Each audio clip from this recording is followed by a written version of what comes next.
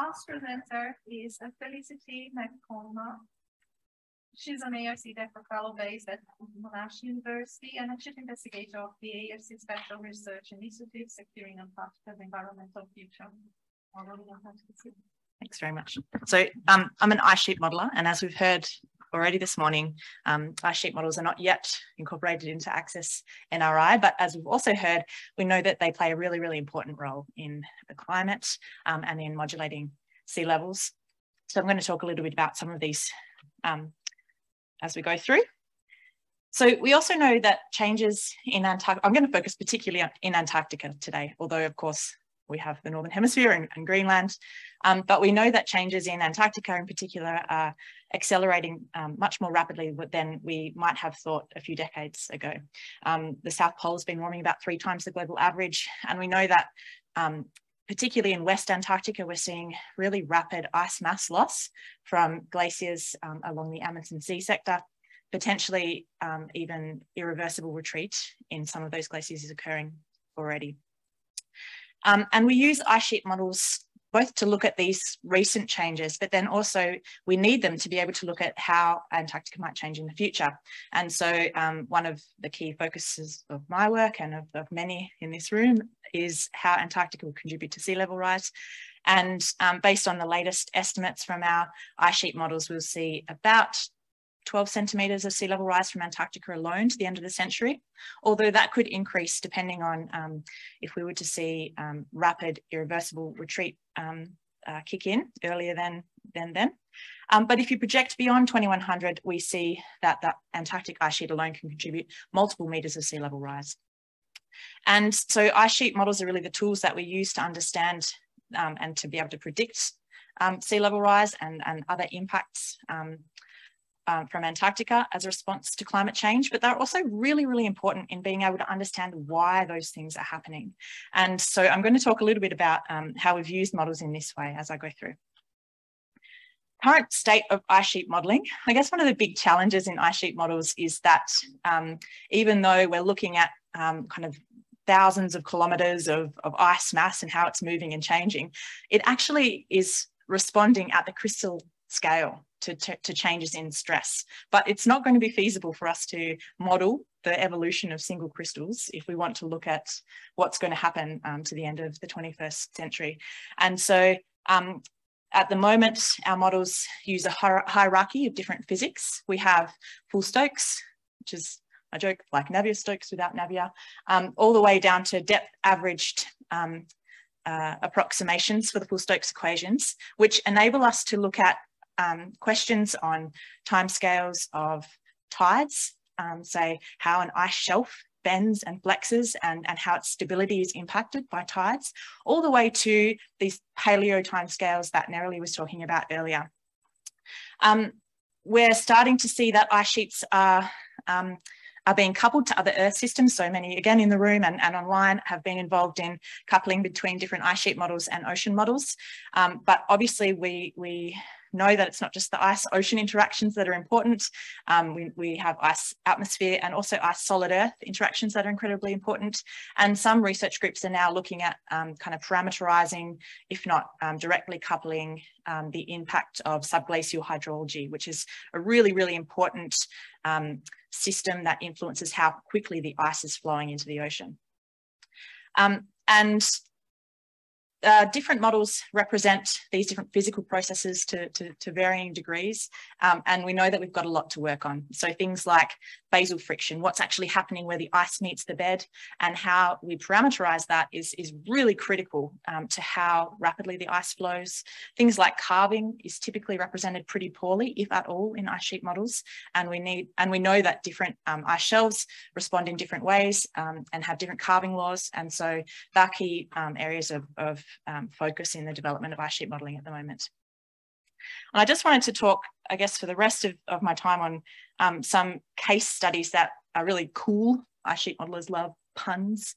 Um, and so I'll talk you through these case studies now um, and just some examples of what we've been doing recently with, with ice sheet models. So one of the key uncertainties in future sea level rise is associated with um, instabilities or these rapid irreversible ice mass loss events. And, um, and so the configuration that I've got I've got there up in the upper left shows um, what's called the marine ice sheet instability. We know that as the oceans warm and start to melt away at the grounding line, where the ice goes from being grounded on solid earth to floating over the ocean, if we find that the bed topography slopes downwards into the interior of the continent, then that um, warming and melting by the ocean can actually lead to um, a runaway retreat. And uh, recent studies have, have tried to um, kind of rank or, or look at how different processes and how they're captured by models actually impacts um, the susceptibility of different systems to that, that rapid retreat. So this particular study that I've highlighted here from Schlegel et al.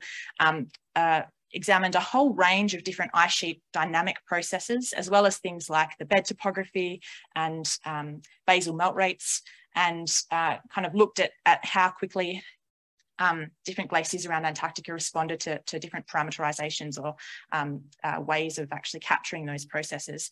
And not surprisingly, um, found that the, the, the way that the ocean melt rate is prescribed and the topography um, are really, really key in being able to predict these rapid mass loss events.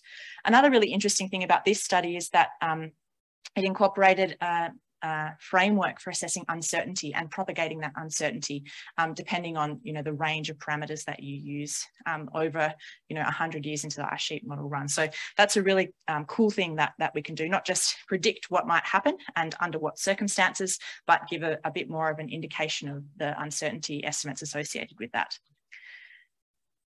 The next thing that um, I mean, given that uh, the grounding line is so important, we want to actually make sure that we're, we have good estimates of the grounding line. And actually less than 12% of Antarctica's grounding line um, has been observed within about a kilometre, which is shocking given how important it is. And so um, another really cool way that we're using ice sheet models is with data assimilation techniques to actually unveil what's beneath the ice. Obviously, we can't directly observe the subglacial environment, and so we need to use um, numerical techniques to, to actually see what's happening there. And this particular study um, used radar-based observations of ice thickness where we have them in a mass conservation method um, to produce a dynamically consistent bed topography that we can now use in our ice sheet models at um, 450 metre resolution, which um, was a real step up um, from, from previous topography that we've used. This technique of data assimilation is also really, really important in estimating other physical processes, um, uh, things like basal friction coefficient, for example. And I, you know, it's perhaps um, debatable, but I would suggest that it's essential to use data assimilation to um, provide good constraints, um, good in initial conditions for our ice sheet models in the absence of paleoclimate simulations. Um, so uh, yeah, that's something that we that we should definitely be um, considering as we think about ice sheet models that we might want to incorporate um, in a coupled sense. And then finally, um, uh, one of the another really great thing that we can use ice sheet models for is helping to determine where we might prioritize data collection. So it's obviously really costly to get to Antarctica and there are a lot of logistical issues. And so being able to use ice sheet models to tell us what data we need and where and at what resolution is really, really important. So this is a study that I was working on um, on geothermal heat flow actually. And so um, ice is a really great insulator, so it might be really, really cold at the surface, but at the base, it can be at the pressure melting point due to frictional heating and geothermal heating.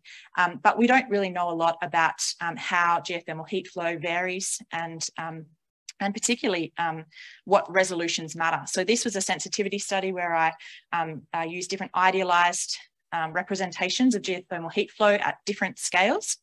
And actually, uh, we found that um, for this particular basin in East Antarctica, um, there's a region where it matters to know the geothermal heat flow the most. And that's because the bed is already close to the pressure melting point. And so if the geothermal heat flow is a little bit higher than what we thought, um, it can have an impact on how much the ice is melting in that region. And so using this and then also kind of um, taking out different um, heat producing processes, um, uh, we were able to produce a map that shows where um, where it matters most for us to collect um, measurements of geothermal heat flow. And that can be really important as geophysicists, for example, design seismic, seismic networks um, to actually improve their geothermal heat flow models. so the future of ice sheet modelling. Um, one of the things that I learned in this particular the study on the particular the previous slide is how important multidisciplinary work is. And I know that's a bit of a throwaway line, but we, we have different languages. Um, and, and a lot of ocean and climate modelers are pretty shocked at how rudimentary um, the, the melt rates parameterizations that we use in ice sheet models actually are. And so being able to understand um, what we're doing and what we're not doing in ice sheet modelling and, and how um, we can help each other as communities is incredibly important. This particular schematic is from an um, international initiative, SCAR Instant. They have themes on ice, ocean, atmosphere, earth, um, and, and, and I like it because it has modelers at the centre. Um, and, and, and that really speaks to the fact that modelers are, are, really key to interacting with all of these groups as we collect data, we improve our understanding of processes, we use those models to predict what might happen in the future, and then we use those models to then go back and, and help um, design kind of experiments in the field or elsewhere. And so these multidisciplinary teams are also really important as we think about um, uh, coupling between ice sheet models and other um, Earth systems components. And that's an area of focus in many international groups. So we're seeing um, uh, ice sheet models coupled to ocean models and, and atmospheric models. Um, and some of them have resolved um, ice cavities um, in, in kind of two, two-way coupling between the ice and the ocean, which is incredibly important, particularly for Antarctica as we look at um, future ice mass loss. And then another kind of third point there that I think um, is important is just this increase in computational efficiency. So if we use a full Stokes model, for example, which is important, incredibly important to model grounding line advance and retreat, it's also computationally very, very um, expensive. But, um, you know, I hope and expect that um, it will become more, much more tractable to be using, um, you know, those uh, full physics um, as we go forward. And I might leave it there. Yeah.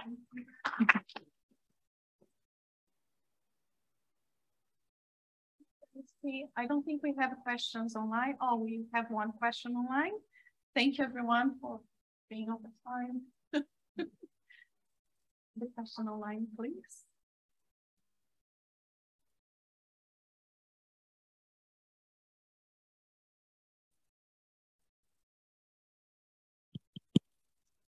The question is, is ice shelf modelling separate to or part of ice sheet modelling? That's a great question. Yeah, ice shelves are typically represented in ice sheets. So um, I, I kind of think of it more like the distinction between land ice, which is ice that originates on land from the precipitation of snowfall. And then um, we know that that flows out. Um, and so the ice shelves are actually still connected to the um, grounded ice sheet and part of that land ice system. And then of course we have sea ice, which is formed from freezing of ocean, which um, are dynamically different. So Ice sheet models typically represent ice shelves and ice sheets, um, but not sea ice. And the last question, Nathan. It's a sort of a controversial question, uh, Felicity. Um, so thinking about the state of ice sheet modelling and ice shelf modelling, um,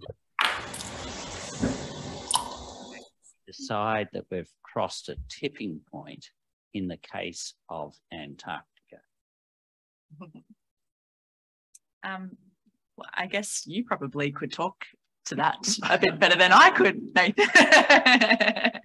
I mean, detection attribution is obviously, you know, an incredibly important method, and it's one that hasn't been widely used in Antarctica because, as uh, ice, mod ice sheet modelers will often say there's a paucity of observation of data to constrain um, climate forcing. So yeah, I think we're moving towards that. And actually there's some really interesting initiatives um, looking at the impact of climate variability on ice sheet modelling um, led out of uh, Georgia Tech by Alexander Robel. Um, and so I think we will start to see more of these kinds of studies come out and it's a really important area. And I think that Australia has great capacity to, to play um, into this area as well.